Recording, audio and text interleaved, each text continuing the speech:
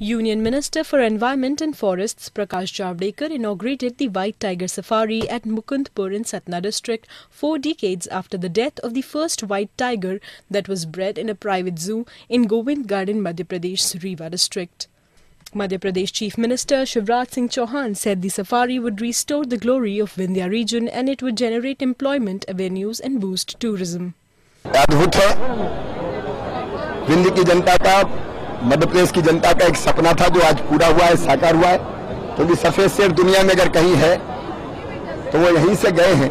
मोहन की संतति थे और पूरी जनता की इच्छा थी कि सफ़ेद शेर फिर से लाया जाए। और आज आज हम लोग गदगद और प्रसन्न हैं कि सफ़ेद शेर लाने का सपना साकार हो गया है। टूरिज़्म का ये हिंदुस्तान का सबसे बड़ा केंद्र बनेगा। आगे हम और भी कोशिश करेंगे कि और व्हाइट टाइगर यहाँ आए। और ये सफारी, अद्भुत सफारी दुनिया की होगी। ये हमारी कल्पना है, उस दिशा में हम लोग काम करें। Correspondent Sandeep Singh from Satna for an